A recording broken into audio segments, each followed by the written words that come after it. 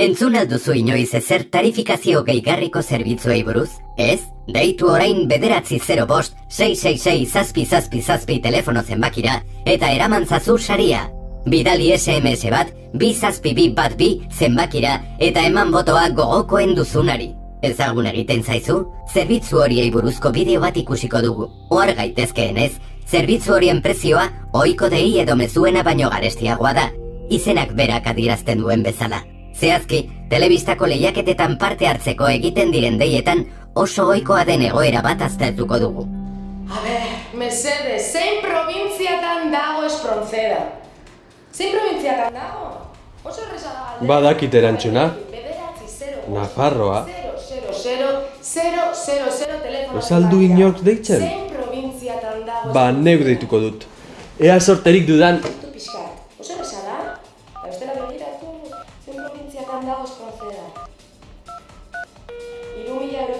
Zerbitzu honen den igual saria zuzenean enpresara deitu duzu.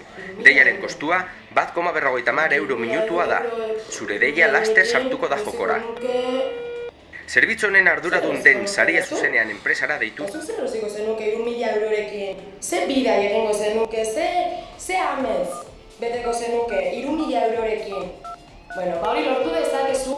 Zerbitzu honen arduradun den geratzen zuzenean enpresara deitu duzu. Deiaren kostua, bat koma berrogeita hamar euro minutua da. Zure deia laster sartuko da jokora. Zerbitzu honen arduradun den saria zuzenean enpresara deitu duzu.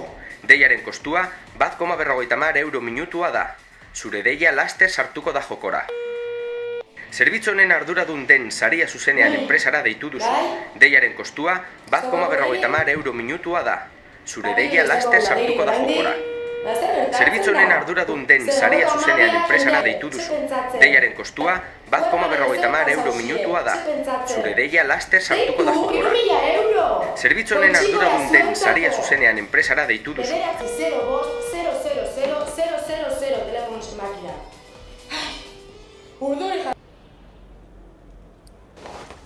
Hogeita magos euro lehiaketara lau aldiz deitzeagatik, hau astakeria. Eta, azkenean, ez nuen lortu parte hartzea ere, ez da bidezkoa. Telefono konpainiara deituko dut.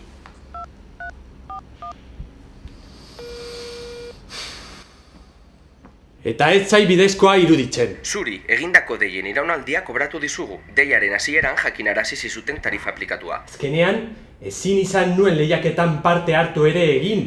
Horrek ez du zerikusirik. Oso ondo.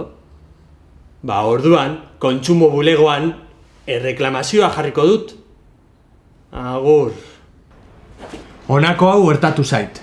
Zer egin dezaket? Begira, mota horretako deietan, lehiaketaren eta deiaren prezioaren berri eman dizutenetik aurrera, hiru segundo dituzu telefonoa ezekin nahi duzun ala ez erabakitzeko. Une horretara arte, zure operadore konpainiaren tarifa arrunta aplikatuz kobratuko dizute deia. Baina hiru segundu horiek igar ondoren ezeki ez baduzu, ordutik aurrera tarifa gehigarria aplikatuz kobratuko dizute deia. Zu kasu honetan ezin duzu ezer erreklamatu. Izan ere, naiz eta azkenean parte hartzeko aukerarik ere ez izan, laudei egin zenituen, eta zain izan zinen hiru segundu horiek igar ondoren ere. Beraz, informazioa eta deiaren prezioa entzun bezain laster ezeki banuen, operadorearen zatia bakarrik kobratuko zidaten eta ez bederatzi zero bost deiarena. Hori da. Dena den urrengorako kontuan izan horrelako lehiaketetan pantailan agertu behar dela argi eta ikusteko moduan zenbat dei jaso diren azken hamar minutuetan jendea jakin dezan lehiaketan parte hartzeko zer nolako aukera duen benetan. Aha. Eskerrik asko, ulertzen dut. Agur. Agur, eskerrik asko. A ber, mesede, zein provintziatan dago espronceda? Zein provintziatan dago? Oso erresa da galdera. Hirurogeita hamabost de. Bederatzi, zero, Egia esan, gaur ez dauka aukera handirik. Zero, zero, zero, telefono zenbakia. Ez zait gauza bera gertatuko. Saiatu ez deitzen era konpultsiboan telebistako lehiaketetara. Deitu aurretik, alegindu beharrezko informazioa eskuratzen, gero ez ustekorik izan ez dezazun.